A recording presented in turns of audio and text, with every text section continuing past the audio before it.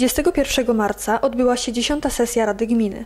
Po otwarciu i przyjęciu porządku obrad oraz po informacjach o pracach w okresie międzysesyjnym i funkcjonowaniu Zakładu Usług Komunalnych przystąpiono do podjęcia uchwał. Radni przyjęli uchwały dotyczące m.in. zgody na zbycie nieruchomości gruntowej położonej w miejscowości Bławatków oraz nabycie nieruchomości gruntowej położonej na terenie Piekoszowa. Podejmowano także uchwały dotyczące wskazania wstępnej lokalizacji przystanków komunikacyjnych w m.in. Bławatkowie, Lesicy, Brynicy i Łaziskach. Szczegółowych informacji na ten temat udzieliła Danuta Marszałek, kierownik referatu inwestycji i rolnictwa. Następna lokalizacja to by była z wniosku Zespołu Placówek Oświatowych Pani Dyrektor, która potwierdziła potrzeby przewozowe Pana y, Domka, który jest umową związany właśnie z, ze szkołą.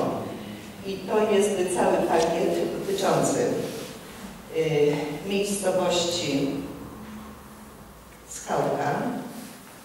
To jest na zasadzie uzupełnienia, na przykład na wysokości bloków po stronie stacji paliw mamy istniejący przystanek, a jadąc w stronę Kielc po lewej stronie nie ma. Podobnie jest w kierunku Rykoszyna, jest istniejący przystanek z wiatą, a po lewej stronie nie ma. To znaczy nigdy nie było. Ja może jeszcze w uzupełnieniu powiem, że ta wstępna lokalizacja to jest obligatoryjny wymóg, żeby był potwierdzony uchwałą Rady Gminy, ponieważ zgodnie z właściwością te uchwały są przekazywane do zarządcy drogi. Jeżeli to jest droga publiczna wyższej kategorii, w tym wypadku do Powiatowego Zarządu Dróg, powołają w wyznaczonej dacie komisję, to nazywamy potocznie Komisję Bezpieczeństwa, czyli będzie przedstawiciel zarządcy drogi, następnie będzie przedstawiciel z Komendy Miejskiej z sekcji ruchu drogowego, czyli policjant, no i przedstawiciel wójta i wstępnie, to znaczy już na bazie podjętej uchwały Rady Gminy dokona ta komisja wizji. Właśnie wizja będzie miała docelowe znaczenie, ponieważ przesądzi o istotnej lokalizacji. Bo może być tak, i mam tutaj obawy, że niektóre lokalizacje nie zostaną uznane, ale nie chcę się wypowiadać, bo to było przedwczesne. Natomiast decydujący głos tutaj będzie miał funkcjonariusz policji. Bo tutaj, tak jak podałam w uchwałach wszystkich w uzasadnieniu, powołując się na artykuł, powołując się na artykuł ustawy Prawo o ruchu drogowym na artykuł 20f o ostatecznej lokalizacji wnioskowanych przystanków zadecyduje zarządca drogi, uwzględniając charakter drogi oraz warunki bezpieczeństwa ruchu drogowego. Następna droga to jest droga nasza wewnętrzna Wincentów z Ręby. Sprawa dotyczy uzupełnienia przez jednej lokalizacji na wysokości istniejącej wiaty i w pozostałej części z Rębów pary przystanków. Następny wniosek to Łaziska, też zgodnie z wystąpieniem Zespołu Placówek Oświatowych w takiej ilości jak zapisano w. Jeśli są pytania, służę wyjaśnieniu. Mam pytanie takie odnośnie skałki. Czy w pobliżu tych przystanków możliwe jest uchwałą zrobienie przejść dla pieszych, bo tam jest bardzo niebezpiecznie. To jest jakoś... Bo jest niebezpiecznie po prostu z tego względu, że tam jest zaraz zakręt. Rozumiem. Czyli chodzi o wykonanie znaków poziomych. Może to tylko wykonać zarządca drogi. Nie musi być na to uchwała Rady Gminy. Wystarczy wniosek, czyli wystąpienie wójta do zarządcy drogi, czyli do Powiatowego Zarządu Dróg. Czyli, Skonkretyzować musimy tylko w którym miejscu. czyli rozumiem, że mam się zwrócić do Pana Wójta z tym projektem. Możemy nawet porozmawiać, ustalić i takie pismo wyjdzie Dziękujemy. na sprzętu. Dziękuję.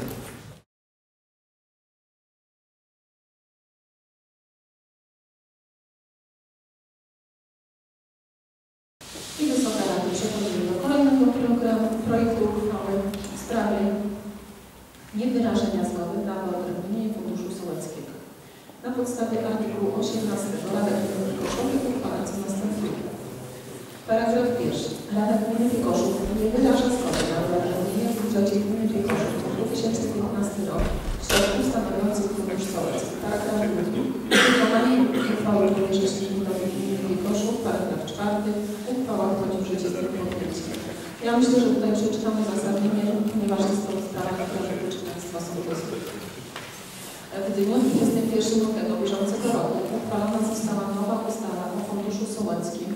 która weszła w życie od 20 marca 2014 roku.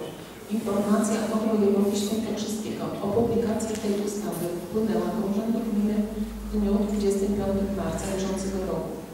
To jest po wysłaniu materiałów na sesję Rady Gminy w dniu 31 marca 2014 roku.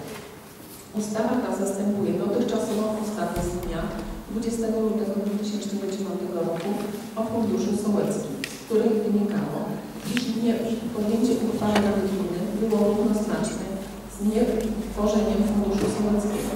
Nowa ustawa wymaga podjęcia przez Radę Gminy uchwały wyrażającej zgodę bądź o niewyrażeniu zgody na wyodrębnienie w budżecie gminy środków na Fundusz Sołecki. Rozstrzygnięcie Rady Gminy podejmowane jest w terminie do 31 marca 2014 roku poprzedzającego rok budżetowy. Jeśli uchwała ta zostanie podjęta w takim terminie, to na podstawie artykułu 2 ust. 2 tej uchwały uchwała, uchwała będzie nieważna. Zgodnie z artykułem 240a ust. 5 punkt 5 ustawy o finansach publicznych gmina w okresie realizacji programu naprawczego nie może tworzyć funduszu sołeckiego. Dlatego na podstawie wcześniej obowiązującej ustawy o funduszu sołeckim nie wnoszono projektu uchwały, a z przepisów nowej ustawy wynika obowiązek jej podjęcia. I paragrafy ustawy, artykułu ustawy dnia 21 lutego o funduszu sołeckim brzmią następująco. Artykuł 2, punkt 1. Rada Gminy rozstrzyga o wyodrębnieniu w budżecie gminy środków stanowiących fundusz, podejmując uchwałę, której wyraża zgodę albo nie wyraża zgody na wyodrębnienie funduszu. Punkt drugi. Uchwała podjęta po dniu 31 marca roku poprzedzającego roku budżetowy, którego dotyczy, jest nieważna. Zapytuję Państwa, czy ktoś z ma pytania do przedstawionego projektu uchwały? Nie widzę. W związku z tym poddaję projekt uchwały pod głosowanie. Kto z Państwa radnych jest za przyjęciem przedstawionego projektu uchwały? Bardzo proszę o podniesienie. Dziękuję. Kto jest przeciw? Kto się wstrzymał? Projekt uchwały został przyjęty 14 głosami za. Uchwale nadaje numer 58 łamane przez 407 łamane przez 2014. Projekt uchwały dotyczącej odwołania skarbnika gminy został usunięty z obrad sesji. Kolejnym punktem były zapytania i wolne wnioski. Wysoka Rado, Szanowni Państwo, e, ja pragnę powitać e, Panów przedstawicieli e, Polskiej Sieci Elektroenergetycznej. W tym momencie, kiedy mamy punkt dziewiąty, przepraszam, dziesiąty, zapytania i wolne wnioski, Panowie przybliżą nam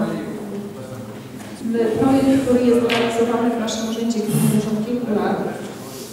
Ja pozwoliłam sobie Panów zaprosić tutaj, ponieważ dnia 5 marca bieżącego roku wraz z Panem Urbanistą naszego urzędu gminy, z Panem Januszem Jawykiem, byliśmy na spotkaniu w Urzędzie Marszałkowskim. I spotkanie to było poświęcone przedstawieniu prac przygotowawczych do realizacji inwestycji budowa linii 220 kV Radkowice Kielce Piaski. Inwestycja ta dotyczy również naszej gminy i działania w naszej gminie rozpoczęły się już jakiś czas temu. Poprzednia Rada miała możliwość zapoznania się już z tą prezentacją. Było to co prawda spotkanie wyjazdowe, jak tutaj mi były radny zaznaczył. No my musieliśmy Panu ściągnąć tutaj do nas. Kluczowa informacja dla Państwa. Na czym polega ta inwestycja, dlaczego ona jest tak ważna? Proszę zobaczyć, że stacja elektroenergetyczna Kielce Dochodzi do niej jedna czerwona linia, linia 400 kV, czyli tak jak powiedziałem wcześniej, swego rodzaju autostrada elektroenergetyczna. Dzięki temu Kielce i cały region połączone są z krajowym systemem elektroenergetycznym, czyli największa ilość energii dopływa właśnie wtedy. Widzimy zatem, że ze stacji Kielce do stacji Kielce-Piaski przebiega jedna linia 220 kV. Tą linią zasilany jest dzisiaj obszar aglomeracji kieleckiej i okolic. Co to proszę Państwa oznacza? To oznacza, że w praktyce cały ten obszar w cudzysłowie wisi na jednej linii. W przypadku, gdyby była jakaś awaria, ten obszar byłby pozbawiony zasilania. A mówimy o setkach tysięcy odbiorców. Co zatem my robimy? Planowana linia 220 kV, którą Państwo widzicie narysowana przerywaną linią, To jest właśnie projekt, za którym jesteśmy odpowiedzialni. Chodzi zatem o to, żeby zapewnić dopływ energii elektrycznej do stacji Kielce Piaski z alternatywnego źródła, w tym przypadku ze stacji Radkowice. Jeżeli chodzi o kwestie planistyczne, tutaj na tym slajdzie możecie Państwo zobaczyć, jak wygląda to w poszczególnych gminach. Jeżeli mówimy o, o gminie Piekoszów, tutaj uchwalenie dokumentacji przewidujemy na przełomie maja i czerwca bieżącego roku. Następnie głos zabrał m.in. wójt gminy oraz radny Michał Gaweł. Pani Przewodnicząca, Szanowni Państwo, Szanowni Radni, e, chcę tylko tak powiedzieć, że przez ostatnie półtora miesiąca e, Ochotnicze Straże Pożarne w gminie Koszów, a jest jednostek sześć, e, kontynuowały zebrania sprawozdawcze i wraz z Panem Komendantem, Panem Sorganem uczestniczyliśmy w poszczególnych jednostkach e, e, na tych zebraniach.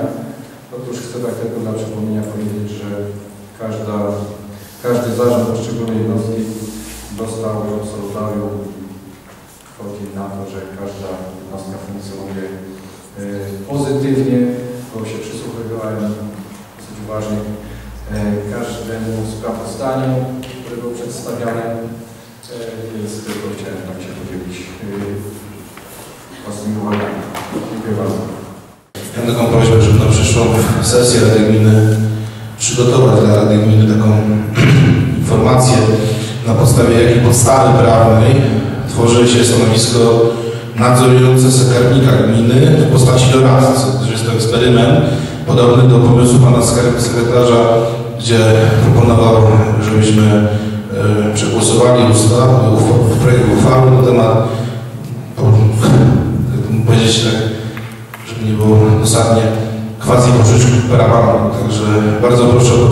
podstawy prawnej, na podstawie której tak Pan twierdzi.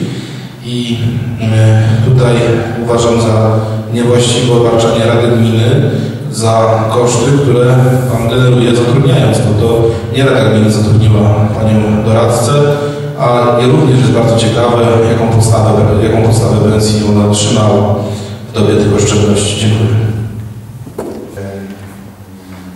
Doskonale Pan wie, że za funkcjonowanie Urzędu Gminy jest odpowiedzialny wójt. Tak? E, I generalnie e, Pan ze swoją grupą radnych chce mi jakby narzucać, z kim mam pracować.